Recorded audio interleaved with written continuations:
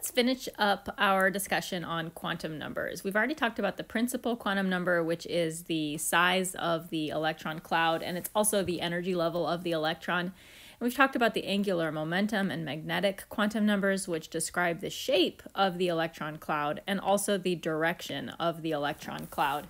The last quantum number that we need to learn about is called the spin quantum number. The spin quantum number is abbreviated m subscript s. So we call this m sub s. And this quantum number describes the direction of the electron's spin on its own axis.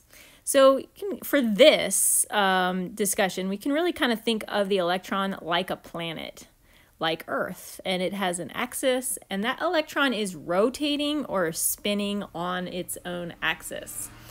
Some of the electrons are spinning clockwise, and other electrons are spinning counterclockwise on their own axis. So that means that we have two possible directions for the spin. We have clockwise spin and counterclockwise spin.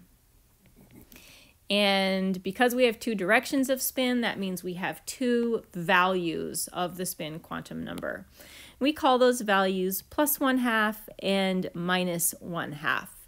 And to be clear, chemists do not assign a direction of spin to a particular value. So we don't say, oh, this is the clockwise spin and this is the counterclockwise spin, or vice versa. We just say, we know that some of them are spinning one way and some of them are spinning one the other way, and there's two possible directions, which means there's two possible values.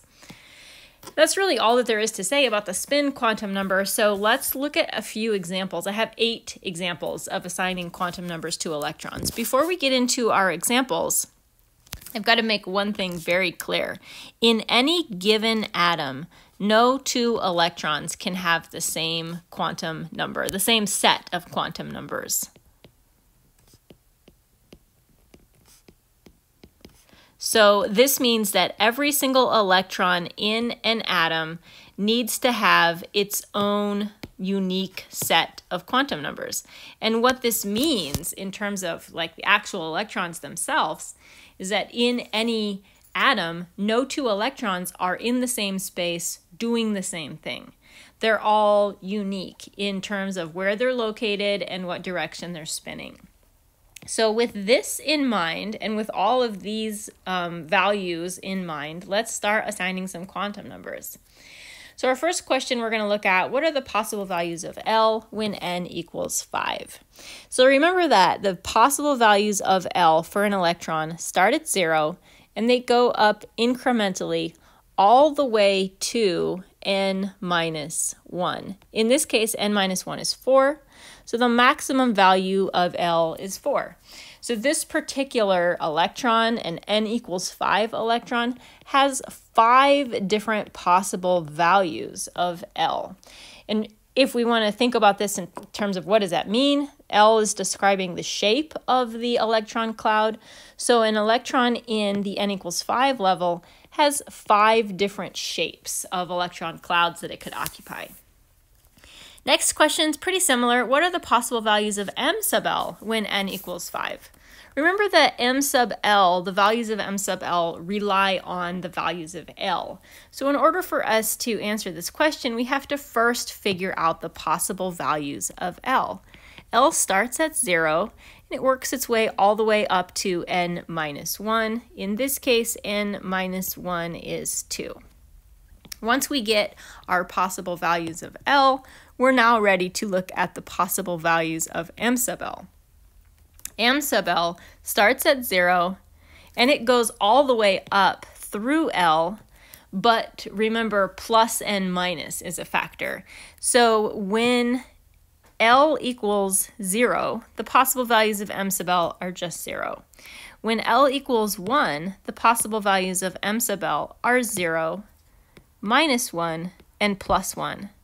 And when L equals 2, the possible values of m sub L are 0, minus 1, plus 1, minus 2, and plus 2.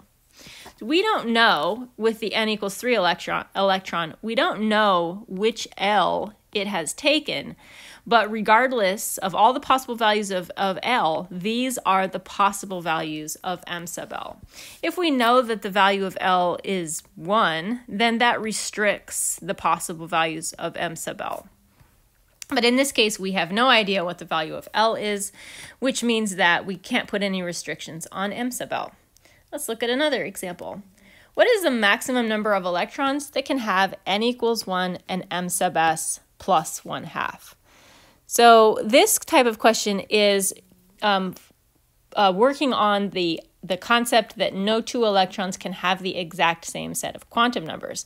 So what we're trying to figure out is how many unique set of quantum numbers can we come up with that has n equals 1 and m sub s equal to plus 1 half. When n equals 1, the only possible value of L is 0. And when L equals 0, the only possible value of m sub L equals 0. For any m sub L, we have two possible values of m sub s, 1 half and minus 1 half.